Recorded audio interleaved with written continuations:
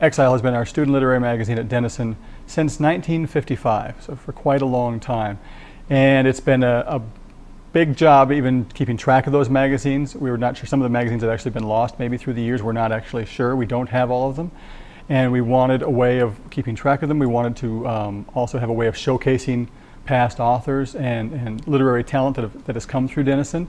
And we also wanted a way to have current students to show their work online to a broader community and we got quite a few student volunteers and they really did you know the bulk of the work. They again divided up into these three teams the design team the uh, copyright team and the scanning digitization team.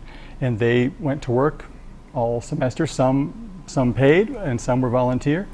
And they certainly learned a lot of design skills in terms of web design.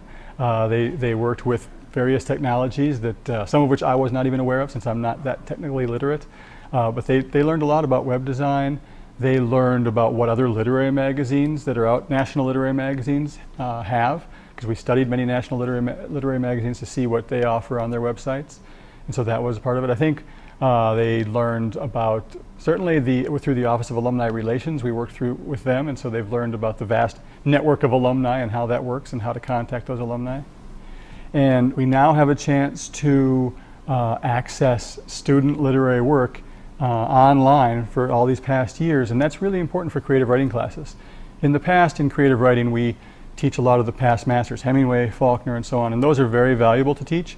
But that sets a really high bar for the students. It's good for them to see that, but it's also nice for them to see what other students coming through you know, liberal arts colleges have done. And so now we can add that component to the curriculum and have them actually analyze student writing from, you know, maybe from their own, a year before students they might actually know, or 20 years before students they might have heard about.